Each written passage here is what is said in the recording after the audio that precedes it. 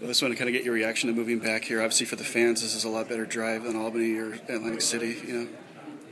Yes, our North Country fans will be very excited. Mm-hmm. Either and both teams get here, we have a home run. Oh yeah. Get to Lake Placid, you have arrived. It is a community that's a host ready, mm-hmm. and it's the best atmosphere that we can think of for a tournament. As far as the last two years playing, you know, the Clarkson game up here, how's that helped this process? Do you think the fact that they had those two years of games here? I think it helped a great deal because you had um, the opportunity for two other league members to come mm-hmm. and see how exciting Lake Placid was as a host opportunity.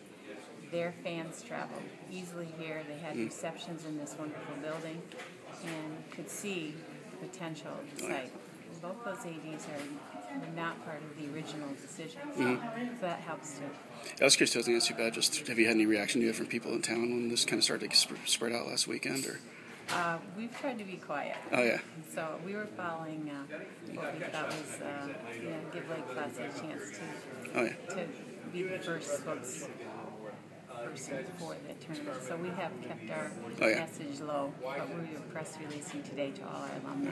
What kind of reaction do you get? I mean, this will be pretty well received, I'd imagine, oh, by yeah. people in town. Be, this will be, I think, Canton, Potsdam, yeah. the North Country in general just love uh, to come to Lake Placid, so they'll be totally right. excited about it. Well, thanks.